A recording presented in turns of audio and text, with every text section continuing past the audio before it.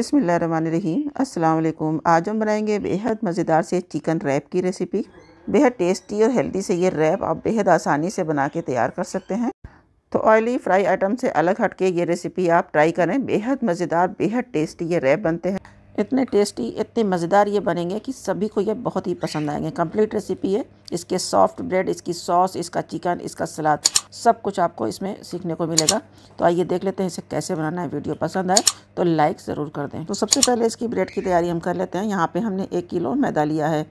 यहाँ पे इसमें हम जो भी चीज़ ऐड करेंगे, एक किलो मैदे के हिसाब से ऐड करेंगे। अगर आप आधा किलो मैदा ले रहे हैं तो उसी हिसाब से सारी चीज़ों को आधी कर लीजिएगा। यहाँ पे वन टीस्पून हमने नमक ऐड कर दिया, चार टेबल स्पून करीब शुगर ऐड कर दिया, one and half teaspoon हमने बेकिंग पाउडर ऐड कर दिया। यहाँ पे आपने बेकिंग सोडा के बजाय बेकिंग पाउडर ही लीजिएगा। यहाँ पे हमने 100 ग्राम करीब, एक कप के करीब मिल्क पाउडर इसमें ऐड कर देना है। मिल्क पाउडर आप चाहें तो स्किप कर दें, इसके बदले आप इसे दूध से गूँध लीजिएगा, बजाय पानी के। चार से पाँच टेबल स्पून हम इसमें कुकिंग ऑयल ऐड कर देंगे। सौ ग्राम का एक पैक है कॉर्नफ्लोर का। ये हमने पूरा पैक इसमें ऐड कर देना इससे रोटियाँ बहुत ही सॉफ्ट बनेंगी, बिल्कुल भी रबर जैसी नहीं रहेंगी। क्योंकि मैदे की बनी रोटियाँ ज़्यादातर कितना भी आप कोशिश कर लें, वो ठंडी होने के बाद रबर जैसी हो जाती हैं तो कॉर्नफ्लोर से ये बिल्कुल सॉफ्ट रहेंगी। अब थोड़ा थोड़ा पानी इस तरह से ऐड करेंगे कि ये स्टार्टिंग से ही आपका डो जो है नरम रहे, टाइट नहीं कीजिएगा, वरना रोटियाँ सही नहीं बनेंगी। देखिए, पूरे आटे को मैंने इस तरह से समेट लिया है, लेकिन ये स्टार्टिंग से ही नरम है, हार्ड नहीं है। अब हल्का हल्का सा पानी डाल के और थोड़ा और पंच कर लेंगे। और एक बॉल में इसे शिफ्ट कर देंगे और ढक के रख देंगे तकरीबन आधी घंटे के लिए। तो इसका रेस्टिंग टाइम बहुत ज़रूरी है ताकि ये थोड़ा सा, क्योंकि इसे हमने थोड़ा सा फॉर्मेट करना है। तो ढक देते हैं इसे और एक साइड रख देते हैं किचन काउंटर पे ही। अब इसका चिकन तैयार करने के लिए यहाँ पे एक कढ़ाई में हमने ले लिया है क्वार्टर कप थोड़ा ही ऑयल लेना है। अब इसमें हमने बिल्कुल बारीक चॉप किया हुआ लहसुन ऐड कर देना है। यहाँ पे 25 से 30 लहसुन निकल गया थी, जिसे हमने बिल्कुल बारीक चॉप कर लिया। अब इसे हमने हल्का सा फ्राई कर लेना हल्का सुनहरा कलर बस चेंज हो जाए, बस।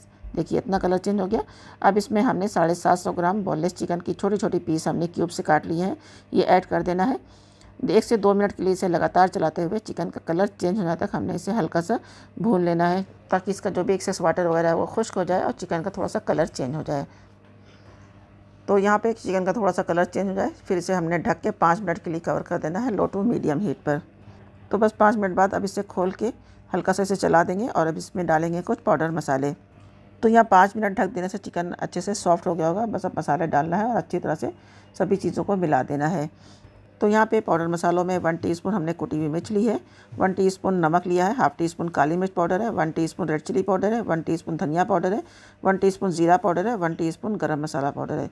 ये सारे मसाले इस तरह से हमने डाल के अच्छी तरह से चिकन में मिला देना है। अब इसको हमने इसी के साथ थोड़ा भून लेना है, इसमें थोड़ा बहुत पानी होगा। तो मसाले के साथ इसकी हमने अच्छे से भुनाई कर लेनी है। बस झटपट से बहुत ही मज़ेदार सा लहसुन के साथ इसका फ्लेवर बहुत ही ज़बरदस्त आता है। तो अच्छी तरह से भून लेते हैं और तीन से चार मिनट इसे हमने अच्छे से स्टर कर लिया है। मीडियम हीट पे इसका पूरा पानी खुश्क हो गया है। अब इसमें एक बड़े नींबू का जूस हमने ऐड कर देना है। वन टेबल स्पून के करीब हमने इसमें औरिगैनो ऐड कर देना है। और बस अच्छी तरह से मिला देना है। आधा मिनट के लिए हमने इसकी काफ़ी अच्छे से मिक्सिंग कर देनी है। बस हमारा ये ज़बरदस्त सा फीलिंग के लिए चिकन तैयार है, जो बहुत ही टेस्टी बनता है। तो यहाँ पे डो के रखे हुए तकरीबन आधा घंटा हो गया। अब हल्का सा हाथों में आयल लगा के एक बार इसे दोबारा से हल्का सा चिकना कर लेंगे। तो बस इस तरह से हल्का सा इससे पंच लगा लेंगे। देखिए आटा अच्छे से फूल भी गया है। और अब इसकी हमने पेड़े काट काट के रख लेने हैं। एक बड़े साइज़ की रोटी बनानी है, उस हिसाब से हमने पेड़े इसके बना लेने हैं। तो इस तरह से देखिए अपने बराबर साइज़ के पेड़े बना के इस तरह से तैयार करके खुश्क आटा लगा के सबको एक जगह पे करीब 10 से 12 मिनट के लिए इसे भी आप, आपको रेस्ट देना है ताकि जब हम रोटियाँ बनाएँ तो अच्छी तरह से बेली जाएँ। तो रोटियाँ बेलने के लिए पेड़े नरम पड़ जाए इसलिए हमने पेड़ों को बना के इस तरह से आटा लगा के इस तरह से ढक के रख देना है दस मिनट के लिए। अब हमने इसकी सॉस बना लेना है तो यहाँ पे एक कप हमने गाढ़ी थिक दही ले लिया है। अब इसमें करीब हाफ़ कप हमने मेयोनीज़ ऐड कर देना है। दही आपकी फ़्रेश होनी चाहिए, खट्टी नहीं होनी चाहिए। अब इसमें पाँच से छः टेबल स्पून इसमें हमने टोमेटो केचप ऐड कर देना है और अच्छी तरह से इसे मिला देना है। कम लगे तो थोड़ा सा और ऐड करेंगे थोड़ी सी रेड टाइप की अपने सॉस बना के तैयार कर लेनी है। ये बहुत ही ज़्यादा और दूसरी तरफ़ हमने कुछ सलाद काट के रख लेने हैं, जिसकी तैयारियाँ हमने कर ली है। यहाँ पे पेड़ को रखे हुए भी करीब 10 से 12 मिनट हो चुके हैं। देखिए, ये सॉफ्ट हो गया है। और सलाद में हमने लेना है पत्ता गोभी, प्याज, टमाटर और खीरा। सभी को हमने पतले लंबे स्लाइस में बारीक टुकड़ों में काट लेना है। खीरे को हमने इस तरह से देखिए, लंबे टुकड़ों में इस तरह से पतले स्लाइस में काट लेना है। और अब इस तरह से हमने रोटियाँ बेलनी हैं कि जितनी बड़ी हो जाए, आपने इसे खूब बड़ी कर लेना है। तो पकने के बाद ये थोड़ी फूल जाती हैं, थोड़ी मोटी मोटी सी लगती हैं। यहाँ पे बेलते टाइम अपने से अच्छे से पतली कर लेनी है। क्योंकि रैप के लिए बड़ी रोटी की ही ज़रूरत होती है तो यहाँ पे मीडियम से तवा गर्म है और इस पर डाल दिया है। एक साइड से जब उसका कलर चेंज हो गया तो साइडों को हमने बदल देना है। उसके बाद किचन टावल की हेल्प से इस तरह से दबा दबा के प्रेस करके इसे हमने अच्छी तरह से सेक लेना है। तो बस झटपट से आसान तरीके से इसकी रोटियाँ बन जाती हैं। और बिल्कुल ये सॉफ्ट रोटी होती है, खाने में भी ये बहुत ही ज़ायकेदार होती है। तो इस तरह से रोटियाँ सारी आपने बना लेना है। और अब रैप तैयार करने के लिए यहाँ पे अच्छे से इसमें एक तरफ़ सॉस लगा लेना है। तैयार किया हुआ चिकन इस तरह से लंबे शेप में डाल देना है। यहाँ पे चिकन आपने जायके के हिसाब से कम ज़्यादा ऐड कर सकते हैं। इसके बाद आपने इसमें इस तरह से सभी सब्ज़ियाँ थोड़ी थोड़ी इस पर डाल देनी है। यहाँ पे हमने खीरा डाल दिया, टमाटर स्लाइस डाल दिया कैबेज इस तरह से डाल दिया। अब इसके बाद हमने प्याज के लच्छे इस तरह से डाल देना है। चॉइस के हिसाब से आप इसके ऊपर और सॉस भी डाल सकते हैं। सलाद के ऊपर इस तरह से, इसके बाद दोनों साइड से इस तरह से देखिए पैक कर देना है। उसके बाद इस तरह से चीज़ों को इस तरह से प्रेस करते हुए, दबाते हुए, इस तरह से पूरा रैप आपने इस तरह से तैयार कर लेना है।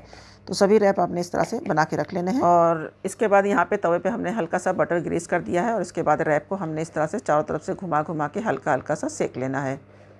तो चारों तरफ़ से घुमा के इसे हल्का सा हमने बस एक तरह से मार्क दे देना है, हल्का सा सेक लेना है। तो इससे रैप ऊपर से थोड़ा सा टेस्टी भी हो जाएँगे और रैप जो है अच्छे से पैक भी हो जाएगा। तो बस इतनी ही आसान तरीके से हमारे ज़बरदस्त से ये चिकन के रैप बन के तैयार हो जाते हैं, जो बहुत ही टेस्टी, बहुत ही डिसेंट से स्वाद वाले, जायके वाले ये बन के तैयार होते हैं, जो सभी को बहुत ही ज़्यादा पसंद आए। तो ज़रूर बनाइएगा आप भी, इस रेसिपी को ट्राई कीजिएगा इन आपके घर में सभी पसंद करेंगे। इस रमज़ान में या कभी भी आपका दिल चाहे तो आप इसे बना के अपने घर में, अपने बच्चों को, बड़ों में, सभी में आप इसे इंजॉय कर सकते हैं। तो ज़रूर बनाइएगा, अपना फीडबैक अपना एक्सपीरियंस भी हमारे साथ ज़रूर शेयर कीजिएगा। वीडियो पसंद आए तो लाइक कर दें। चैनल पर पहली बार आए तो सब्सक्राइब भी ज़रूर कर लें ताकि आने वाली रेसिपीज़ की अपडेट आपको टाइम पर मिलती रहे। तो अपना ख्याल रखें दुआ में रखें। मिलते हैं नेक्स्ट वीडियो में। तब तक के लिए अल्लाह हाफिज़।